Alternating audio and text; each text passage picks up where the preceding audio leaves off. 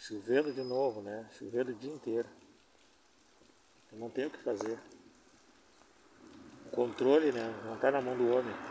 Se tiver que chover, chove. Se tiver que parar, para. A gente não tem esse controle. A gente tem que se cuidar, se prevenir, estar atento e cuidar os outros, né? Porque nessa equação, no trânsito, para os motoqueiros, os motoboys, a galera das duas rodas, o maior perigo são os outros. É, os outros que te fecham, os outros que freiam sem né, os outros que param sem ligar um alerta, nada, param de repente. E os de má fé, né? Os, os caras de mal intencionado mesmo. Que parece que tentam te derrubar mesmo, se não é que tentam. Então fique ligado, fique atento aí. E se prepare para surpresas. Dia de chuva, dia de surpresa. Mas vai dar certo. Abraço.